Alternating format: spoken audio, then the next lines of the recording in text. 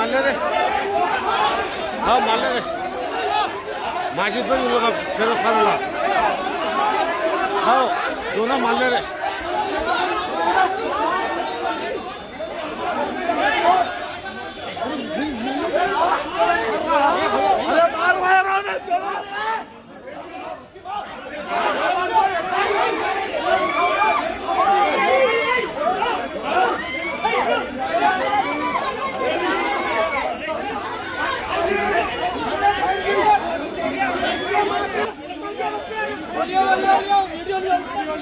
ayo ayo Ayan.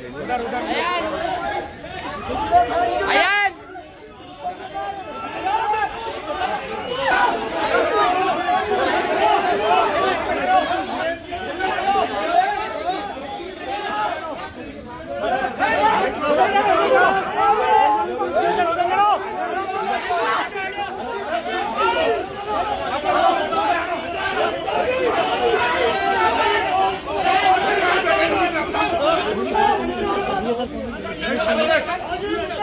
चार बजे मुझे फिरोज गांधी नगर से कंटिन्यूस फ़ोन आना शुरू हुए।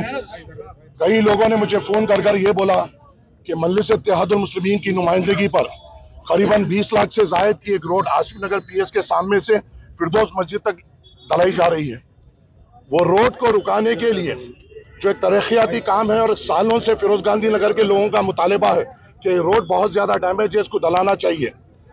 कुछ यहाँ के कांग्रेसी गुलाम एक हारे हुए उम्मीदवार को लेकर, जो धूप में सीधी तौर पे निकल नहीं सकता है, मल्लिस का डायरेक्ट पसीना है पाउडर लगा के निकलता है क्रीम लगा के निकलता है, अपने आप को सूरज से बचा के निकलता है, वो आता है और एक दौरा करने की कोशिश करता है। मल्लिस के इत्तेहादुल मुस्लिमीन के तमाम जिम्मेदार उसे रोकते हैं, बताते हैं कि मल्लिस की नुमाइंदगी पे यहाँ की रोड पड़ी जा रही है, ताजनगर का नाला मल्लिस की नुमाइंदगी पे हुआ है जुबेदा मस्जिद के सामने की रोड मस्जिद के मजलिस के नुमाइंदगी पे हुई है। हाँ काम में वक्त लगता है। मगर मैंने ये तो यहाँ के लोगों को जब मैं मन्नान भाई, अज़ीज़ भाई और यहाँ के इब्तदाई सदूर मुतमदीन के जिम्मेदार ने मुझे कहा कि रोड में वक्त लगेगी, मैंने उनको मुतमिन दिया कि मैंने मुकद्देदार से बात की है और ये इंशाल्लाह ये रोड बड़ी तेज़ी से ऑन टाइम पड़ जाएगी। कल ही ये रोड खुदी और आज ये लोग दौरा करने आए और ये बताने की कोशिश कर रहे थे कि उनकी नुमाइंदगी से हुई है। ये सरासर झूठ है। और एक बात मैं अवाम को बोलना चाह रहा हूँ, परसों दो दिन पहले फसलांसर में भी हुआ। और मेरे पास टाउन प्लानिंग में इनके गुलामों के दिए हुए कंप्लेन है, इनके नाम पे, जो नामपली हल्के में फिर रहे हैं, जो बिल्डिंग्स अंडर कंस्ट्रक्शन हो रहे हैं, उनकी कंप्लेन ये डालकर ब्लैकमेल कर रहे हैं। ये लोग हारे हुए हैं। तो ये लोग ब्लैकमेलिंग उतरे हुए अगर खुदा ना खासा ये जीत जाते तो कैसा कहर बरतता नामपल्ली पे, ये आपको सोचने की ज़रूरत है। मेरे पास पूरे कंप्लेंट्स मौजूद है, जो इनके यहाँ के जिम्मेदारों ने नाम पे बल्दिया में दी है। सैयद नगर में जा रहे हैं, सबको बोल रहे हैं कि ये नोटरी के घर है और तुम्हें हमें पैसे देना होगा, नहीं तो हैड्रा से तोड़ा देंगे। सैयद नगर, फसलांसर और नामपल्ली का कई हिस्सा हो।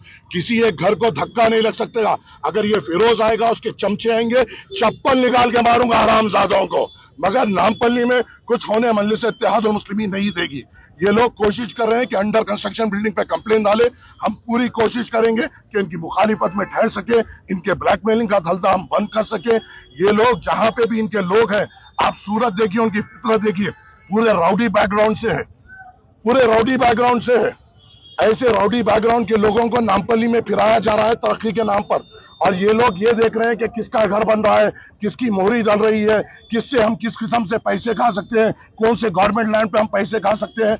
अगर ये कांग्रेस के, ये जो यहाँ के नामपल्ली के, ये फिरोज के कुत्ते अगर आपके दरमियान में आते हैं और आपको सताने की कोशिश करते हैं, मुझसे रबते में आएँगे, इनका मुकाबला मैं करूँगा आपके वास्ते।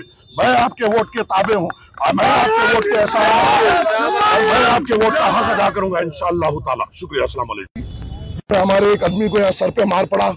ये हमेशा जब आता है, आमने सामने के लड़ाई नहीं लड़ता है खातन को घेरे में रखता है। इसको मैं कहना चाहता हूँ तो चार बार को इलेक्शन लड़ा है, पर खुद भी आगे बढ़ना सी कब तक? खुदा ना खास्ता औरतों को ढाल बनाने की कोशिश करेगा।